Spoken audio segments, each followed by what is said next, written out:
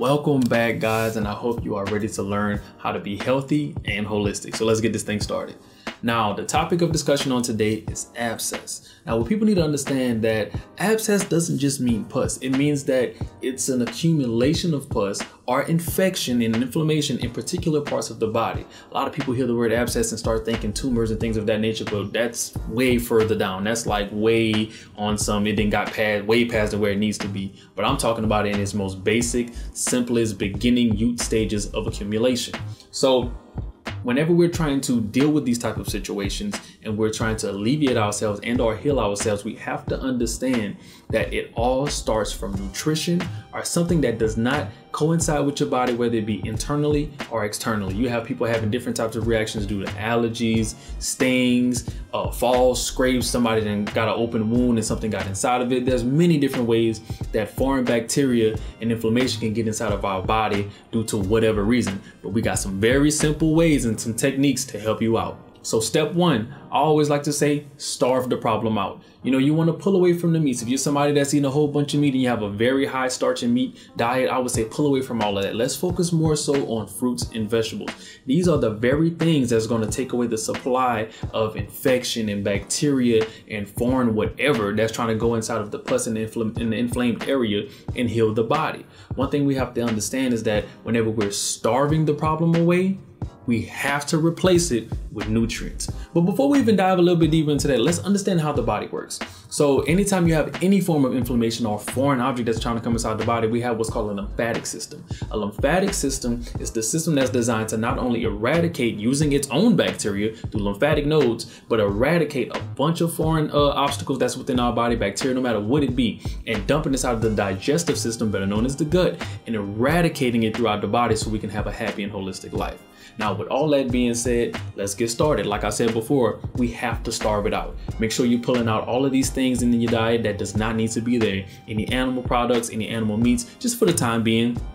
Nobody's saying that you have to go plant uh, plant-based or fruitarian or vegan. We're just saying for the time being and just to implement this practice within your life, you have to get to the most optimal source of detoxification and we have to get on high fruits and high vegetables. Now that's step one. Step two, I would advise you to start every morning with a mango and orange juice. Whether you blend it, whether you're eating it together, whether you're juicing it, even though I feel as though juicing it would be the most optimal way of getting all of that whole food nutrients inside of your body. Essentially what's happening is we're gonna hydrate the cells within the body. We're gonna give the body something to work with and it's loaded, loaded, loaded with nutrients and it's well over 1200 calories to make sure that your body, and I'm talking 32 ounces, 30 to 32 ounces. And let's make sure that we're satiating ourselves, we're revitalizing ourselves, we're giving the lymphatic fluid something to work with. We're giving the digestive system something very easy to break down because it's already working to take down any type of infection and bacteria that's on the other sides of the body, right? So the reason why I say start off with fruit juice is because it's going to yield the most optimal levels of detoxification to get this foreign object and these things out of your body. Step three, I'd like to talk about one of my favorite herbs. I, have been talking about this herb since I started doing this, and it's dandelion root dandelion root is one of the most uh, and it is crazy because it's one of the herbs that you can use it in its entirety. Now it's good that you gather it in the younger stages rather than the older stages because it's really really really really bitter the older that it gets.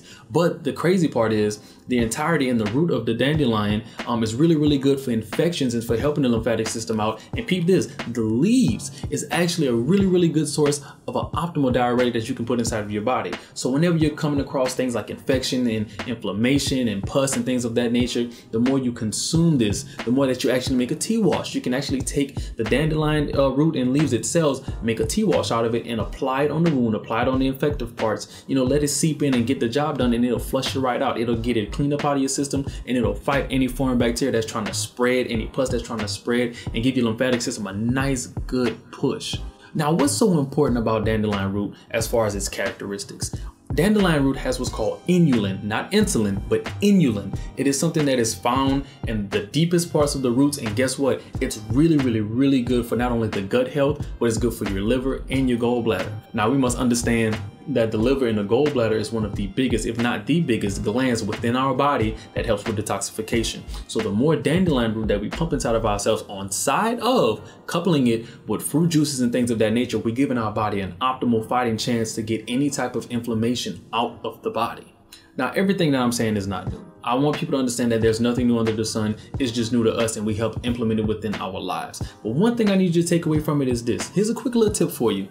Every six months for at least two weeks, I want you to dive into dandelion root, whether it be teas, washes, wraps, it does not matter. I want you guys to really take your gut, liver, and gallbladder health to the next level. The more you implement this within your life, the less you have to worry about medications, the less you have to worry about doing this, that, and the third. But guess what? You will be more optimal in not only your lymphatic system, but in your life. We have to understand that in order to live the most holistic life possible, we have to grab the things that are still available to us on this planet.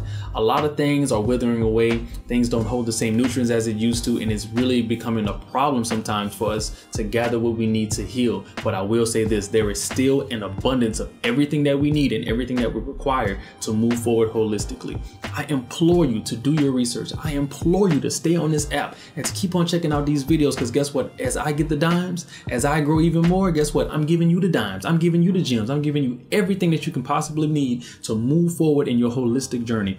Everything happens for a reason. Divine timing is real. You're not here for no reason. You're meant to learn. You're meant to consume. You're meant to take this very information and share it with the rest of the world. Do not hold this to yourself. Spread this. Implement it within your life. Implement it within your kids, your family, your friends, whoever. This can take somebody's life and make a complete 180 and change it around and help you on a whole nother level. But in all things, lead with love and lead with peace. Thank you so much for your time today.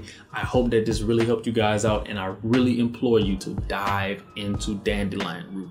It is something that is really beneficial for you, and I'm hoping, just hoping, that I get a little report. I get a little result or something. You know, tag me.